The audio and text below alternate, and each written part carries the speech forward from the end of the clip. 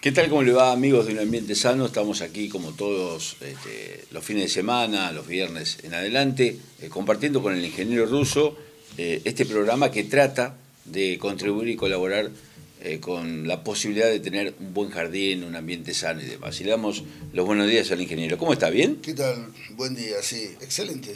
Viene haciendo bastantes cursos y, está bueno que marcarlos en distintos municipios, de la zona, corríjame si me equivoco, con el tema poda, que es un momento importante. Sí, sí, realmente mm, vemos, hay necesidad por iniciativa de las autoridades que, mm, que se deciden a capacitar o a, hacer un poco de, actualización en el tema de poda y así lo estamos haciendo en, bueno, ya lo hemos hecho en General Campo y Alpachiri hace ya varios años atrás. Eh, en General San Martín lo seguimos haciendo, hemos ido a, este, bueno, en este caso hace poco tiempo a, Punta Alta. Em, Acá también estuvo. El, último fue en la colonia, en, Santa Teresa, sí. Y bueno, y acá, felizmente, este, también me llamaron de la municipalidad local, así que estuvimos repasando algunos nuevos, por lo tanto empezamos a hacer las, los primeros pasos de la capacitación y veremos cuándo nos volverán a llamar para darle continuidad, porque este, ya la poda se tenía que haber empezado, ¿no es cierto?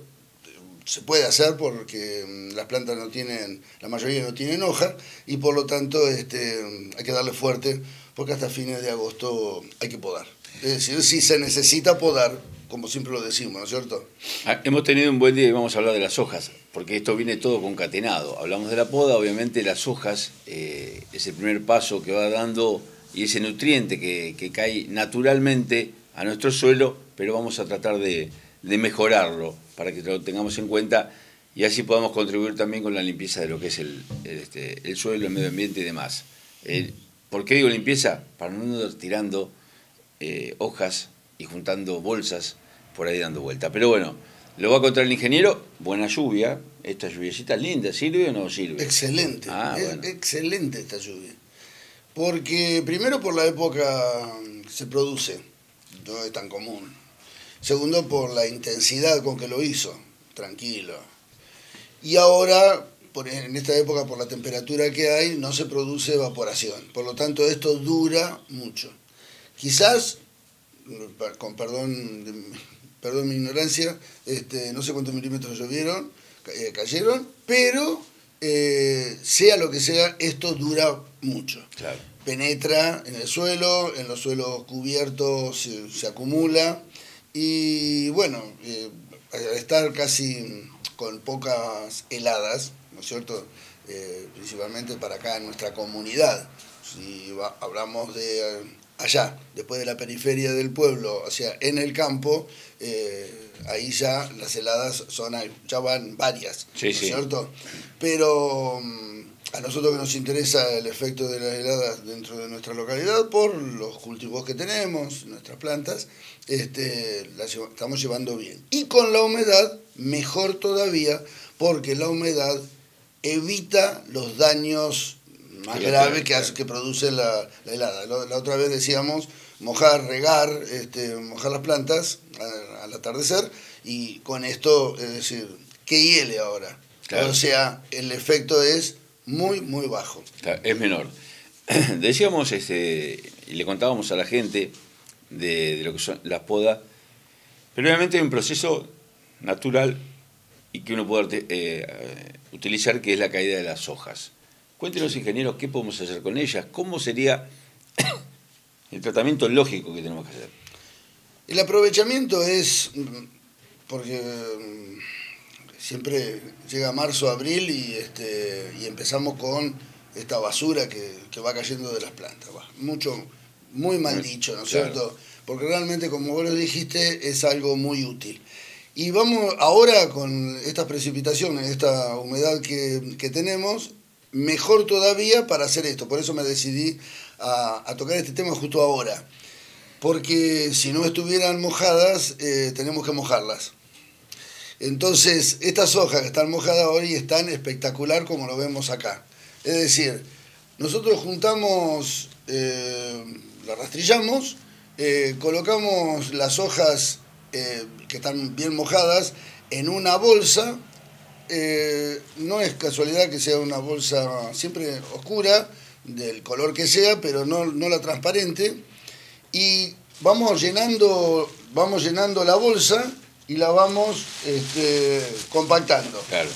La vamos, eh, no voy a compactar demasiado acá arriba, este, vamos compactando y la vamos llenando, la vamos llenando y compactamos, pero mucho, la compactamos. Que no haya oxígeno entre hojas y hojas. oxígeno, eliminar todo el aire posible. Seguimos llenando hasta que la completamos. Una vez que la completamos, nosotros lo que hacemos es cerrarla.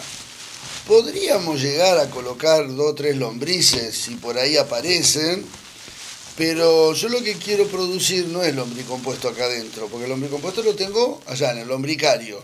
Allá van a parar las, las hojas. Lo que yo quiero producir es algo similar a lo que es la turba. Es decir, yo lo, lo cierro, esto está bien bien apretado, le saqué bien el aire, lo cierro, lo ato.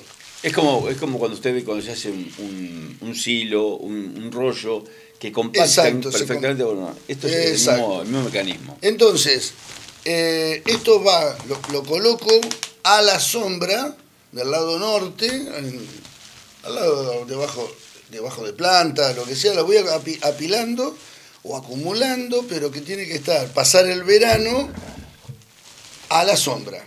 En el lugar, vamos a llamarle más fresco, ahora va a estar bárbaro, porque esto, la temperatura de nuestra primavera y verano es la que no le hace nada bien, pero por eso tiene que estar a la sombra. temperatura y demás. Cuando yo el año que viene lo abra, el año que viene lo abra, ya pasado, llegado el fines de verano, el otoño, voy a tener un material eh, que se desintegra, ¿no es cierto? Así es la turba, y sirve para mejorar la estructura del suelo, eh, después que se descomponga en el suelo nos va a dar nitrógeno, que es un, elemento mineral que este, lo necesitan las, plantas para su crecimiento. Eh, y además, hasta lo podemos usar de cobertura, pero para eso tenemos otros elementos. Simplemente es mejorar la estructura, retener la humedad y luego va a dar nutriente. Por lo tanto, es un elemento muy útil que lo vamos a convertir de la hoja tal cual la, recolectamos y la, introducimos en la bolsa, lo vamos a convertir en un material semidescompuesto que mejora el suelo.